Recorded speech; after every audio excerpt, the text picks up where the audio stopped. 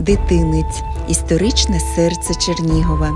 Він знаходиться на самому стратегічно важливому місці, бо займає пануюче положення над навколишнім ландшафтом і контролює всю прилеглу територію. Колись тут була знаменита Чернігівська фортеця, яка завдавала чимало проблем завойовникам міста. Сьогодні про мужність її захисників нагадують чавунні гармати, що залишились від фортечного гарнізону. А з чого все починалось?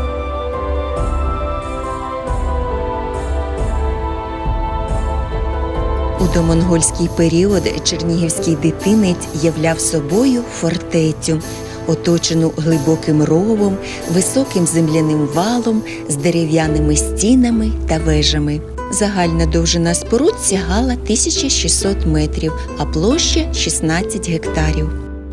Після монголо-татарської навали місто на довгий час занепало, але життя в ньому не перервалося.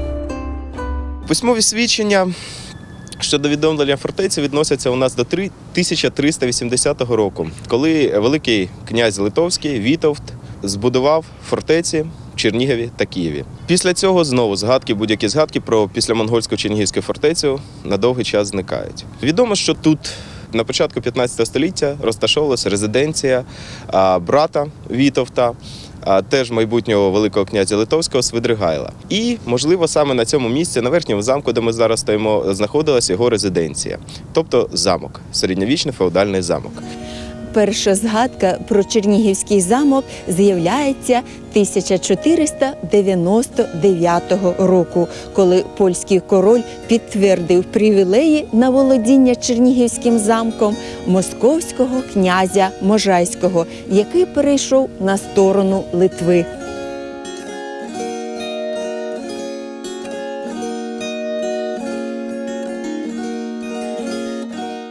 Але недовго це відбувалося, і вже в 1500 році Можайський переходить знову на сторону московського царя. І, як заведено було в ті часи, він переходить разом із своїми землями і з замком. І з 1500 року Чернігів і Чернігівський замок входить до складу вже Московської держави, де є прикордонним замком з Великим князівством Литовським. Постійна загроза з боку Литовської держави призвела до того, що у 1531 році у Чернігові будується нова дерев'яна фортеця.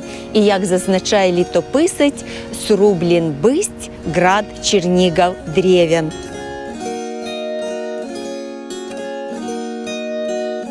І з цього моменту Чернігівська фортеця дуже посилюється. На жаль, ми не знаємо, скільки територій було укріплено. Точно був укріплений верхній замок, це невеличка територія, найукріпленіша, і, можливо, якісь відбувалися фортифікаційні роботи на самому дитинці.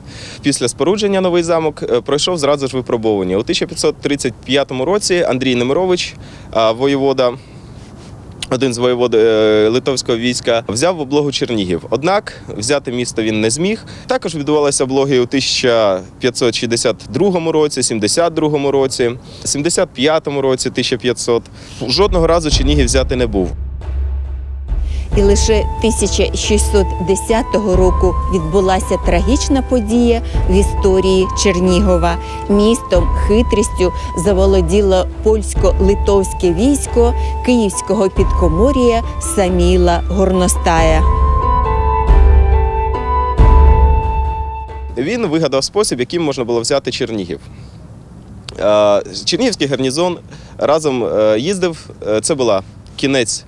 Як вважають, кінець зими, початок весни 1610 року. На придуху гарнізон виїжджав ловити рибу, поповнювати запаси на річку Білоус. І отам от його вже чекали війська Самуеля Гарностая. Гарнізон був перебитий, ті, що виїжджали, і передягнувшись їхню одіж, вони приїхали до Чернігова. Не підозрювані, що варта відкрила своїм ворота. В цей час місто ворота були захоплені, місто було зайняте і повністю спалене. Існують відомості, що тут е, декілька років навіть ніхто не селився.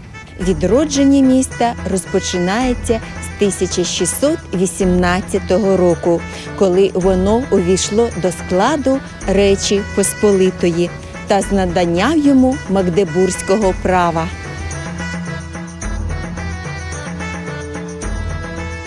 Фортеця знову відновлюється. Є відомості, що в 1620-х роках тут також створено і пушкарську службу артилерійську. Також відновлюється укріплення на верхньому замку та знову відбудовується укріплення поверх старих валів дитинця. Уже в 1633 році місто знову зазнає випробовування. Якраз іде Смоленська війна, і під його стіни підходять війська московські війська, трьохтисячне військо Аляб'єва і Бутурліна. П'ять днів триває штурм, але гарнізон все-таки зміг втримати ворота, і місто не було зайняте. Після народно-визвольної війни під проводом Богдана Хмельницького фортеця стала адміністративно-політичним центром Чернігівського полку і почала активно розбудовуватися, особливо за часів полковника Василя Дуніна Борковського. Абрис Чернігівський 1706 року якраз демонструє нам ці зміни. Вал оточили рубленими стінами, заповненими землею, укріпили верхній замок та передгороддя. Це сучасна територія від алеї героїв до Раксу, близько 30 гектарів. Взагалі, у період козаччини фортеця була доволі міцною, і вороги її обминали. Але життя не стоїть на місці. У 30-40-х роках 18 століття відбуваються чергові реконструкції фортеці відомими іноземними фахівцями Адріаном де Бруні та Даніїлом де Боскетом. Були насипані нові бастіони, дерев'яні стіни були знесені. Дерев'яні башти це був вже анахронізм того часу. І Чернігівська фортеця, можна сказати, на той час збудувалась за новою традицією, голландською традицією, де головну роль відігравали земляні укріплення. Оскільки ми знаємо, що ну, ядром пробити земляний вал неможливо. І Чернігів повністю перетворюється на фортецю за голландським типом, земляними бастіонами. Було шість бастіонів, з них чотири великих та два малі. Після великої пожежі середини 18 століття цитадель занепала. Кордони Російської імперії відійшли на захід, і потреба у фортеці відпала. 1799 року її ліквідували. На початку 19 століття за новим планом забудови міста фортечні вали частково розкопали і на їхньому місці розбили бульвар. Для його прикраси 1896 року на привезені з Києва лафети установили чотири гармати, що просто лежали на валу.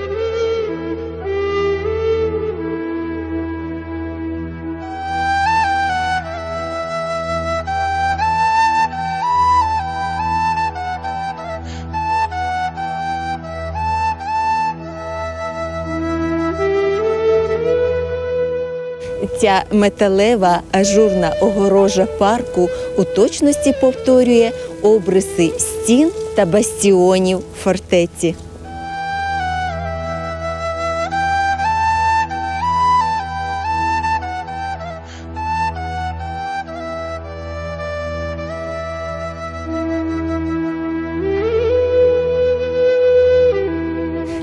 Залишки рову верхнього замку. Його глибина 2,5 метра. Уявіть, яким він був 600 років тому.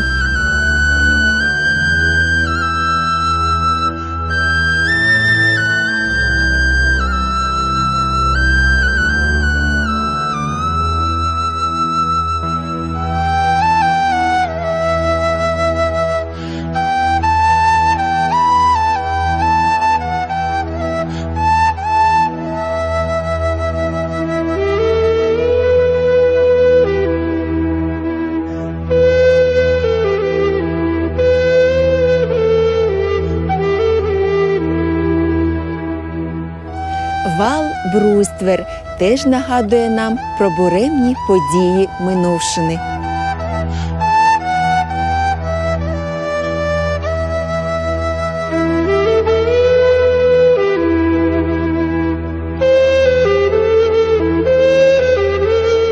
Вулиця Замкова одна з найстаріших у Чернігові.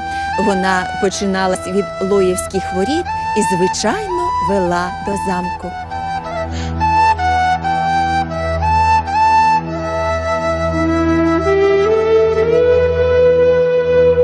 Як і кожна поважна фортеця, наша теж мала підземні ходи, що вели до річки Стрижень.